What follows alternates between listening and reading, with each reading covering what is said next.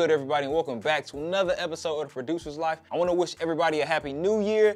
And so today for this New Year's, man, we starting it off right. We're gonna be cooking up a soulful, jazzy, you know, lounge type of record from scratch. Just something really smooth, something similar like Paul Hardcastle. So hopefully I can create some fire for you guys. So I want you all to sit back, relax, and I want y'all to enjoy this beat making video. Let's go. All right, guys, so we're gonna start this thing out with the drums. Now, usually I like to use addictive drums when it comes to like creating my own samples and stuff like that, but I actually found a dope preset right here in Maschine. It's called the Jazzy Drums. Utilizing that rim shot snare,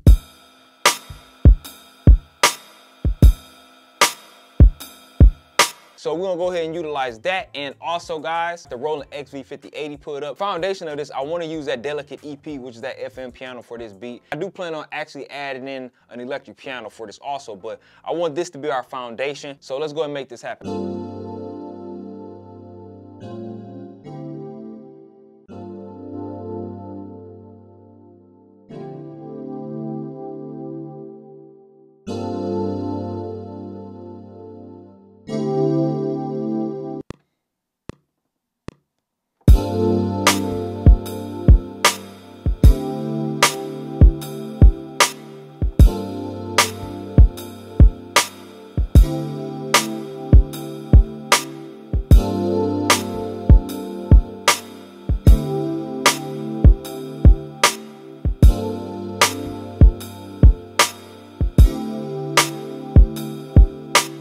What I'm thinking about doing is with that as the foundation, I wanna layer that for like some dreamy electric piano notes on top of that. What I mean by dreamy notes is, is utilizing the sustain pedal. That's how you get that dreamy effect without actually using an effect on any of the channels. It's just you using the sustain pedal. So now it's time for us to add us a bass line in this track. What I'm gonna do is for this bass line, I wanna play it in a staccato type of way instead of sustaining those notes. Of course, for our bass line, we will be using Native Instruments Rickenbacker bass. And this is the idea which I got for this pattern is this.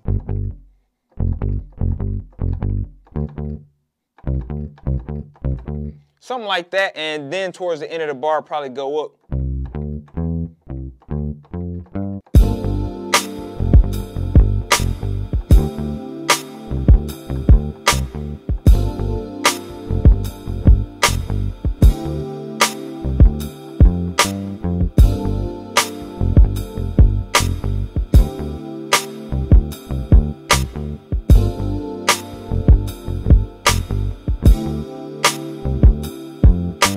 Not bad. Got a little tweaking to do with some of the notes. I think when I quantized it, it kind of like threw it off, um, which was probably a bad idea, but overall it sounds pretty good. But the next thing on this list is to add in a muted guitar. Now the muted guitar, I'm actually gonna play it somewhat similar to that bass line. Have it, you know, within those empty parts where the bass isn't hidden, if that makes any sense.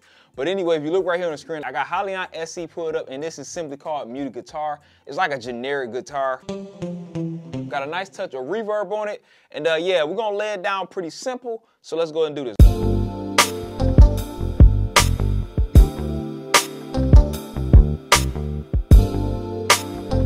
Keep it the same.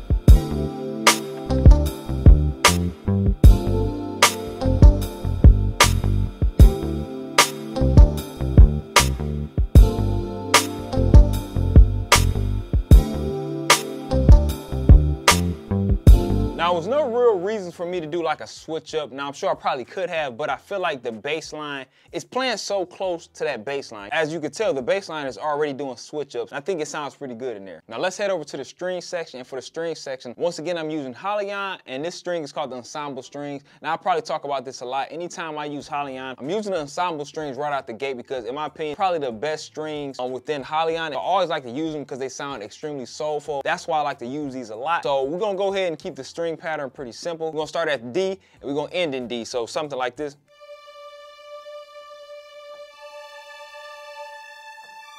And the only reason that I'm keeping the string pattern pretty simple is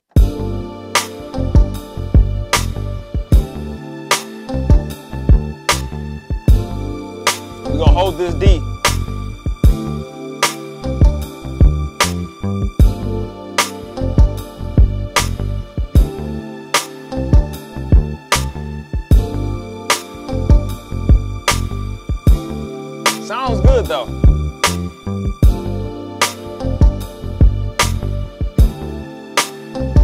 as you can tell with these strings, you can hear uh, like a smidge of tremolo in there. You can slightly hear it. So as I mentioned earlier to you guys in the video, I plan on adding in like some dreamy electric piano notes. So that's what we're about to do right now. Of course, I got addictive keys put up and I'm using the Mark 1 crystals, stain pedal pushed in, and this is what we got. Beautiful, dreamy sounding notes. We're gonna lay something down for this part and uh, just try to make it sound as good as possible.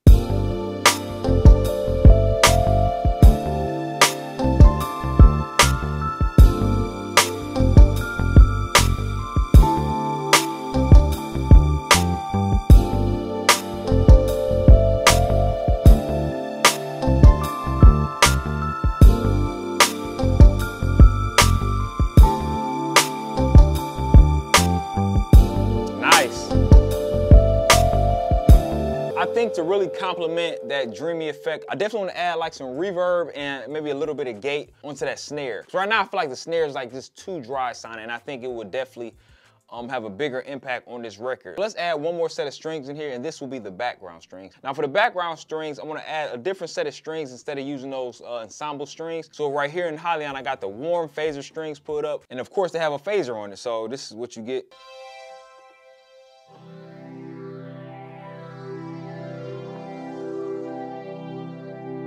As you can tell, the, phaser adds that dreamy effect also to almost anything, whether it be strings or bells and stuff like that. It can add a nice little touch to it. So we're gonna use those, basically layer that um, FM piano, which I laid down earlier at the beginning. So let's go and do this, guys.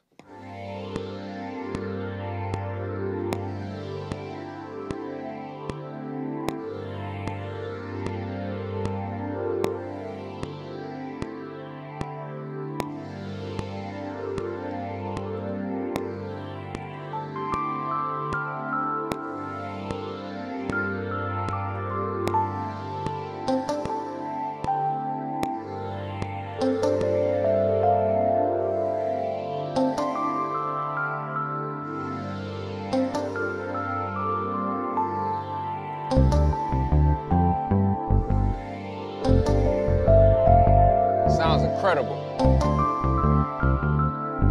All right, guys, so I just sent a text to my homeboy who lays out all the saxophones and stuff like that for me. Currently not at home, but he told me he'll be home in a few hours. Hopefully, he'll get home in time to lay down something for me. I already sent him the track over by email, so like I said, hopefully he gets back in time where I can, you know, get this all finished up and edit it and have it uploaded by today for you guys. So we'll be right back. All right, guys, so it's around three right now. He just got back to me. And as you see right here on the screen, I got the saxophone right here. He did his thing on it. I'll play a little bit of it for you guys so you can hear it, but I want to make sure you guys hear it once it's all together when I do the arrangement of it. But this is what he uh, did for me.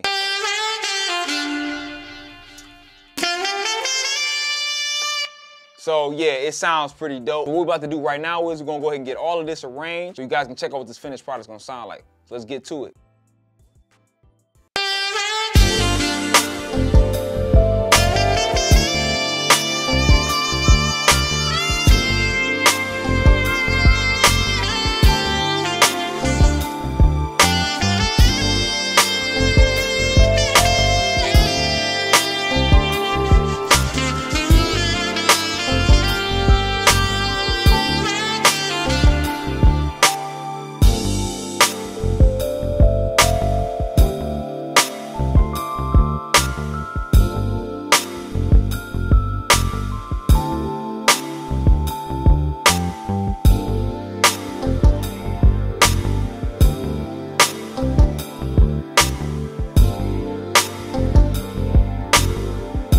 So that wraps up today's beat making video. What y'all think? I think it came off fire. I mean, obviously the saxophone took the beat to like level 20. You know what I mean? Like it took it up like a whole bunch of notches. Like from what I had, I thought about pitching it up, you know, and playing around with the pitch, but I figured I'd just leave it as it is, you know what I'm saying? But it sounds incredible. You guys let me know what you think down in the comments below. If you enjoyed today's beat making video, go ahead and give it a like, give it a thumbs up, and do all that good stuff. And if you haven't subscribed, please make sure you do because I will be coming back with another beat making video this week. And I want to thank everybody for watching and kicking with your man Big Boy Tracks right here at the Producer's Life. And I'll see y'all next time. Peace.